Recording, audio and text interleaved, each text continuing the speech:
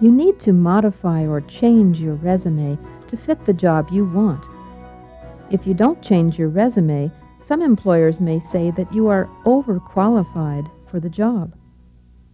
I changed my resume so that employers would not think I was overqualified. I took out the parts of my university education.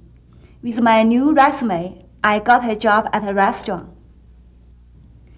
When I applied for a job in my field, I made sure I sent my resume with my qualifications that were important for the job. I once applied for the job at a medical laboratory.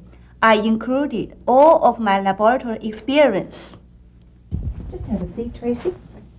When you change your resume, be sure to match your skills to the employer's needs.